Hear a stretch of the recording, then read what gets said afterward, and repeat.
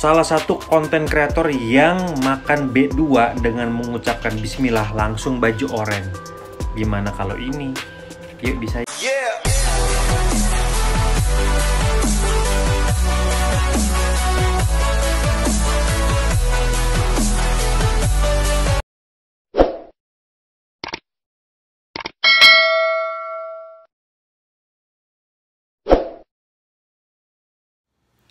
Hai guys, jumpa lagi sama saya, Fevrari Masih di Promosi Super Wow, Super Hero, dan Super Amazing Oke, bagaimana kabar kalian semuanya? Aku kabar kalian semua masih dalam lindungan Tuhan Muka Sang saat ini Oke, hari ini saya akan sharing tentang berita viral yang mungkin hari ini masih uh, Apa namanya?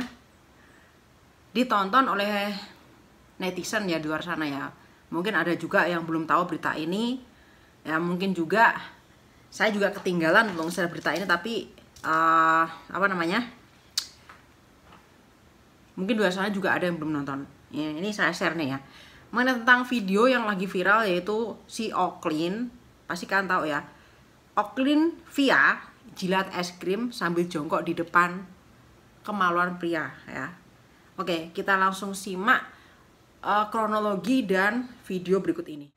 Video Oklin via jilat es krim sambil jongkok di depan kemaluan pria viral.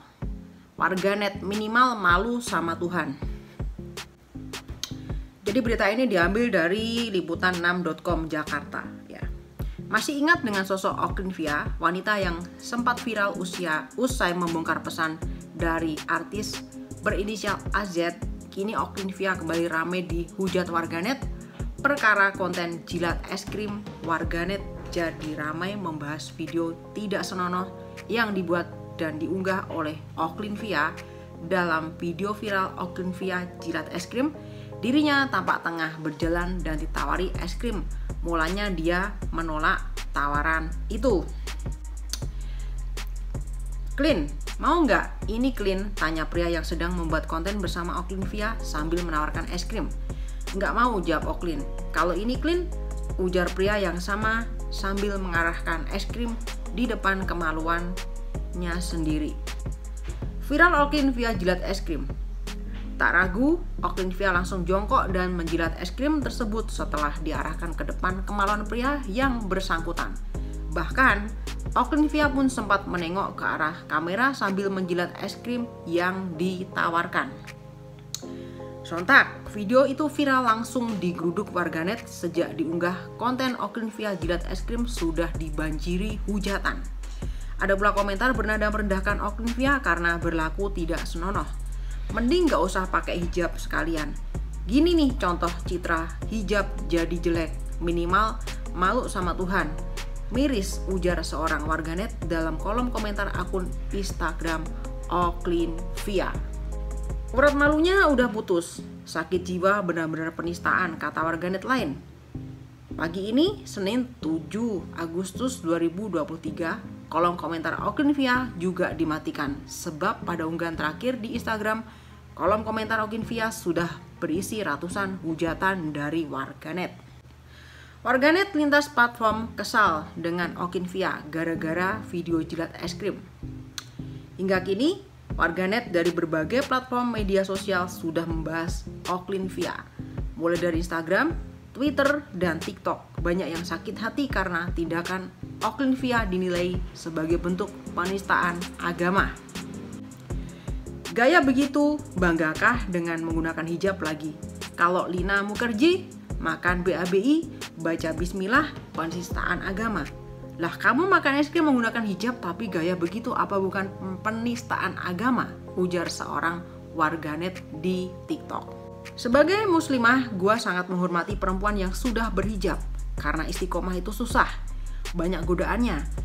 Lihat Oklin Via dengan perilaku disengaja kayak gini seakan-akan buat muasin fetis orang-orang di internet gua marah banget sedih banget kesel banget liatnya. Tweet pemilik akun twitter K R. Tolong berhenti komentar guys. Diemin aja binatang kayak satu ini. Justru kalian transfer pahala ke dia. Teknik marketing pahala yang bagus kata warganet lain melalui Instagram. Oklin Via sempat ditanya soal penampilannya. Sebelum Sebelumnya, Okinivia sempat diundang dalam podcast Dr. Richard Lee. video bersama Dr. Richard baru tayang sekitar 4 minggu lalu. Karena aku nggak salah, pakai hijab ingin menutupi aurat supaya nggak kelihatan auratnya. Tapi di satu sisi, kamu menggunakan hijab, tapi di sisi lain, kamu mempertunjukkan aurat kamu kan, kata Dr. Richard pada Oaklin Via. Itu yang terlihat oleh laki-laki, jadinya kayak merendahkan nilai hijabnya sendiri Mungkin nggak menurutmu kayak gitu, sambun dokter Richard lagi. Jawaban Okinvia terkait penampilannya. Dalam video bersama Dr. Richard, itulah Okinvia menyampaikan pendapat soal penampilannya sendiri. Okinvia menyebut tindakannya mulai dari pakai baju ketat dan hijab, menggunakan caption yang memancing hingga konten-konten yang dianggap seksi oleh warganet adalah hal wajar itu balik lagi ya pandangan-pandangan orang. Kalau mungkin menurut orang seperti itu memamerkan aurat. Kalau menurut aku sih wajar-wajar aja sih kata Oklin Via. Pakai baju kayak gini kayaknya biasa aja deh menurut aku. Sambung Oklin Via lagi sambil ter. Oke, tadi kalian sudah nonton videonya juga ya di awal ini dan kalian juga sudah uh, nonton juga kronologi dan apa namanya? Saya ngomongnya gimana ya? Jadi Oaklin Via ini ada satu selebgram terkenal ya. Uh, selebgram terkenal dan waktu itu sampai kenapa dia kok bikin sampai menjilat es krim sebegitunya itu? Karena dia lagi bikin konten ya dengan temennya ya seorang laki-laki tapi saya pikir ini kontennya sangat keterlaluan sekali ya sampai kayak gitu ya. Ini kayaknya nggak wajar aja ya gitu ya. Uh, jadi menjilat es krim dengan ekspresi yang seperti gimana gitu. Pasti kalian sudah tahu sendiri lah videonya juga kalian udah tahu. Pasti netizen pasti juga udah berasumsi atau mempunyai komentar yang berbeda-beda ya. Karena kalian tahu ya di sini saya bukan tidak ingin di sini saya nggak mau membuli atau ingin menghakimi atau gimana ya karena kita semua juga tidak sempurna ya. Tapi uh, apa namanya dengan berpakaian seperti itu ya dan melakukan atau membuat konten seperti itu sepertinya tidak wajar aja gitu ya. Karena kalian tahu sendiri ya di Indonesia itu seperti apa ya uh, masyarakatnya gitu ya um, beda mungkin kalau di luar negeri sudah tidak ada masalah ya maksudnya tuh tidak ada hmm, apa sih intimidasi atau tidak ada hujatan, bulian dan sebagainya ya. Begitu di Indonesia pasti banyak sekali yang komentar pro dan kontra ya. Jadi pro-nya sedikit, kontranya banyak banget gitu ya. Ketika melihat video tersebut, ya kalian bisa lihat sendiri banyak sekali hujatan-hujatan, komentar-komentar yang akan menghujani si ele, uh, apa selebgram ini yaitu si Oklin Via ini. Nah, si Oklin Via juga sempat diwawancarai oleh dokter Richard Lee mengenai tentang perihal ini. Tapi jawabannya santai-santai aja gitu, kayak seakan tidak merasa uh, melakukan kesalahan apa-apa gitu ya gitu. Dan ditanya pakaiannya sih oke-oke aja nggak masalah pakaian kayak gini terus kenapa gitu kan. Terus kayak gitu juga kenapa sa uh, apa namanya ini kan mungkin warganet yang mikir pakaian saya seperti ini tapi kalau saya pakai saya nggak ada masalah apa-apa gitu kan dibalikin lagi gitu kan Nah, seharusnya kalau kayak kayak gini harus kita kembali lagi ke diri kita sendiri ya. Cara berpakaian dan perilaku itu harus gimana ya? Kalau di Indonesia kan selalu diamas diamat-amati ya. Tak Anda tahu sendiri di Indonesia tuh apa sih yang nggak langsung nyebar gitu kan? Kecil sekutil aja atau sekutu aja itu bisa ke mana-mana gitu ya. Apalagi berita yang kayak gini transparan banget gitu langsung wes nyebar. Jadi berita ini uh, apa video ini diambil dari TikTok guys ya. TikTok kan langsung cepet nyebarnya gitu ya. Diambil dari TikTok ya. Dan ada salah satu temennya juga mungkin ya mengeluarkan itu es krim dari celana dalam gitu ya. Kayak gitu yang di bawah gitu loh ya. Pertama ditawarin ini mau nggak? gitu kan. Terus akhirnya ditawarin es krim. Akhirnya mau langsung dijilat sama si Via itu gitu ya.